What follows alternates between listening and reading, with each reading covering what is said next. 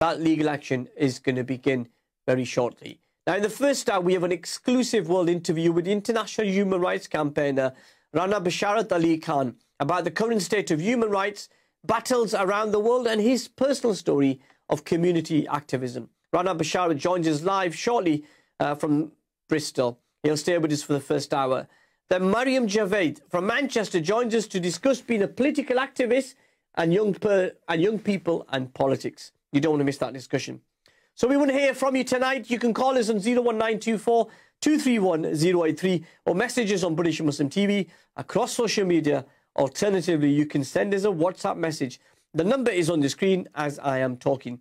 Now, the questions we're considering tonight does the Afghanistan withdrawal signal an end to Western foreign policy of interventions and occupations? Question two What do you make of human rights abuses around the world? And number three, how can we get young people engaged better in politics? Please share your thoughts on the questions we're considering on 01924231083 or messages on WhatsApp, post on social media, and we'll read some of them comments throughout the program. Okay, let's start with our first quest question, guest, and topic. Around the world, there are human rights abuses. Whether it's in Kashmir, Iraq, Syria, Burma, or Palestine, there's been a need for a movement to highlight the injustice and increase awareness. There are some people who have been leading the fight for decades. Rana Basharat Ali Khan is one such individual. Whether it's speaking at the United Nations or leading protests here in the UK and around the world or lobbying ministers, Rana Basharat has a 30-year record of activism, recognized by so many around the world.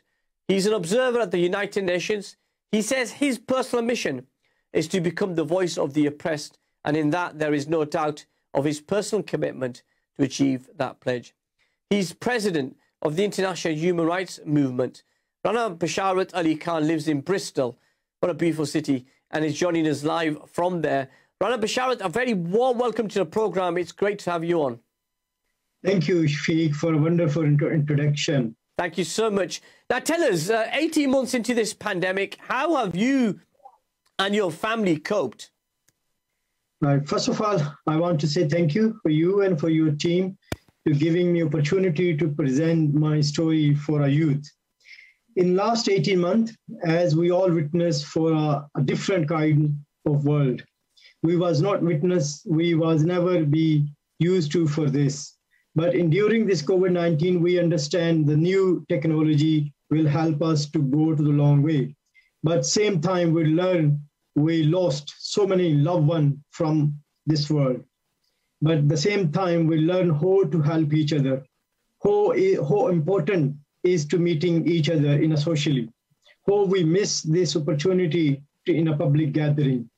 the same time, me and my friends from Bristol and from local massages from Bristol, we uh, combine, uh, launch the help to the people of Bristol, especially for the homeless for the people who was not getting any state benefit or are in urgent need.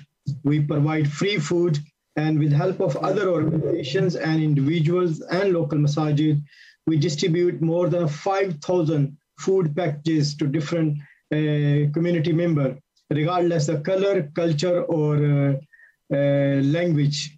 So we also uh, give uh, cash money for uh, people who was in urgent need for people who was not getting any social benefit or state benefit from any kind of uh, uh, government support. We provide a rent to the uh, community member who was not able to get a job due to the COVID-19. Yeah. Yeah. But the one thing, Shafiq, which I learned in, in last this 18 months, we was believing that uh, uh, we are living in a uh, global village. But suddenly we realized after the COVID-19, we are nothing without our people. We are nothing. Even we are, if we are having a luxury home, big, big lifestyle, nice cars, if we don't have a people around us, it's not, it's not mean that we meet them or not. We are social with them or not, but we need love to see them around us. Yeah. That was what we was missing. So that give us a understanding. So we need to build up more strong relationship with our community and local uh, people to give more mm. uh, uh, support to each other in a tough time. in a, especially in, during the COVID-19. Okay, so we know that um, Rana Basharat is staying with us for the first hour, which we're really excited about. Lots and lots of questions we've got for you, Rana Basharat. But let's talk, let's start at the beginning of the journey. Tell us about your upbringing, where you were born and grew up. Okay, uh, brother, I born in a Pakistan city name is Kamalia. And uh, I born on 1978 with a middle class family. My father is goldsmith and we, our entire family is a goldsmith. No one was in a politics before me and no one was ever joined politics before me. But when I was a child, I get a very good, uh, healthy childhood that gave me opportunity to share my happiness with my school friends and with my street friend and my city fellow. That same time, when I went to the school, I, I, I realized there is so much need to done in our community, especially in a school life and a student because education that time is still in a Pakistan education. Yeah, so, I mean, I'm just just sorry to interrupt there, but so it was something which you kind of had this yearning for. What what, what was the experience and, and from your parents and stuff like that when it came to human rights? mashallah my my father my mother my sisters my family members especially my late brother mubarak ali tahir there was a pillar of my all kind of politically background and all kind of uh, uh, sport financially morally everything. There was my main pillar. And after that i when i went to the school i get uh, amazing teachers amazing class fellows and friend and colleague. That gave me boost to join the politics i was only uh, 21 when i become a student leader and I become advisor to C, uh, CM for a Pakistan uh, Punjab Ministry for uh, education affair. So I was quite young and it was good uh, good experience. I love to ex- share my experience with the Pakistan uh, government. I always share on time by time, but uh, that's the how I start. Okay, uh, stay stay there, uh, Rana Bashar. We're just going to go to a very quick break, and when we come back, we'll have the continued presence of you to take some of your questions. Uh, don't go every, anywhere. Don't go any, everywhere. Don't go anywhere, people. Uh, we are here waiting for you. We'll take a very quick break and we'll continue the conversation uh, with Rana Basharat uh, Ali Khan. Join us on the other side of these very important messages. Don't go anywhere. Assalamu alaikum wa rahmatullahi wa.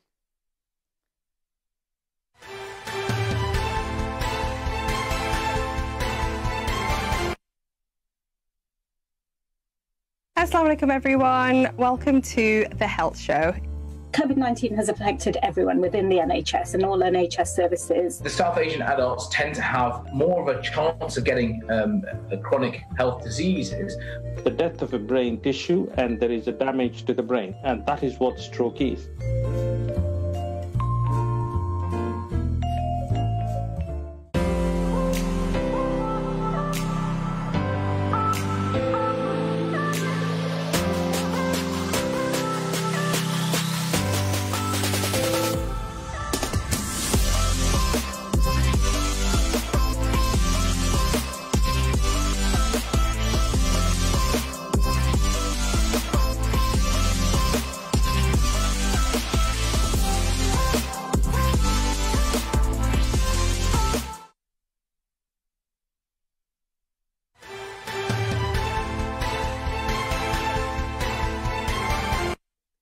Assalamu alaikum, welcome back to Questions with me, Mohammed Shafiq, exclusively here on British Muslim TV. Uh, we're live, it's um, 8.44 here in the UK. We're still waiting to hear what the Transport Secretary here in uh, United Kingdom, Grant Shapps, has decided in terms of that red list uh, review, which is expected tonight or tomorrow. Most likely tomorrow, we'll keep an eye on it. But at the moment, there is nothing to report, so we assume um, he will revert to what he has done every three weeks, which is make the announcement on a Thursday afternoon.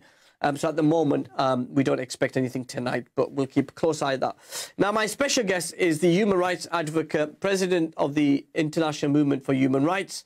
Rana Bashar Ali has been with us. Uh, he's happy to take some of your questions.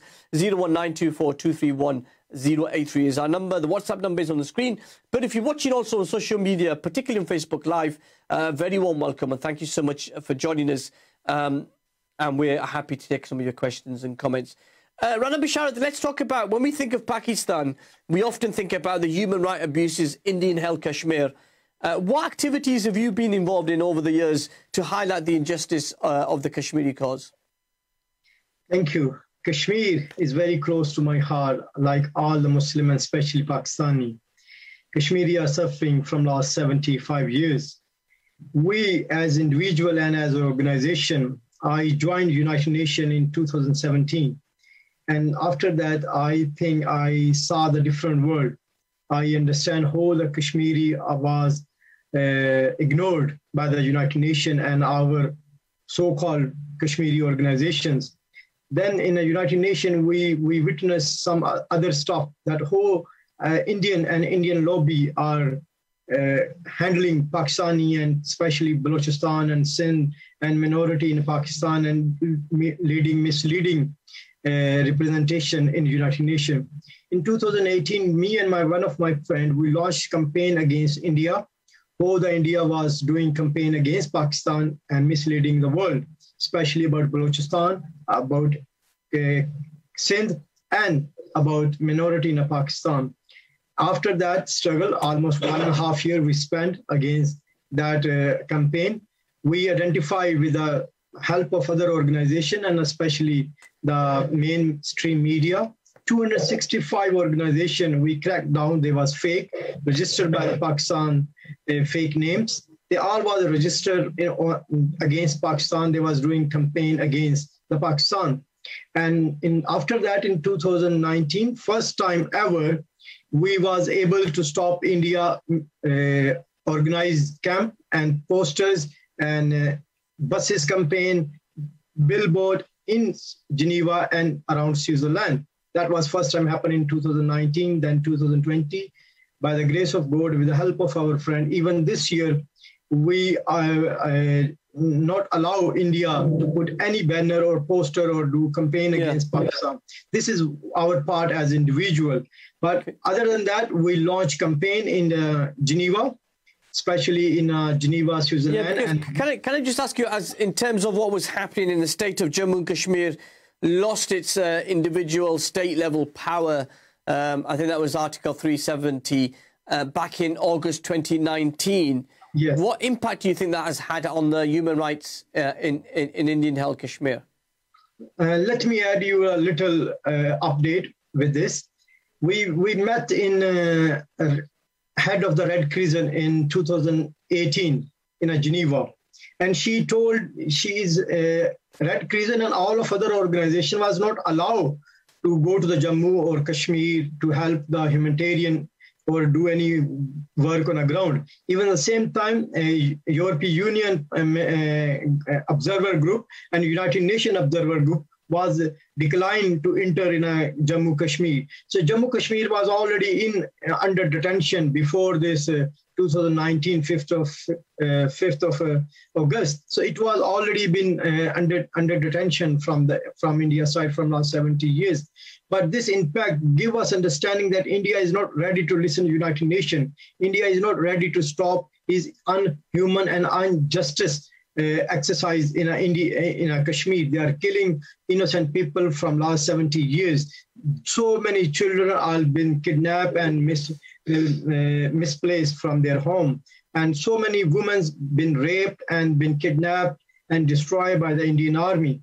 You can imagine there is more than 1 million people uh, are army uh, in Kashmir. So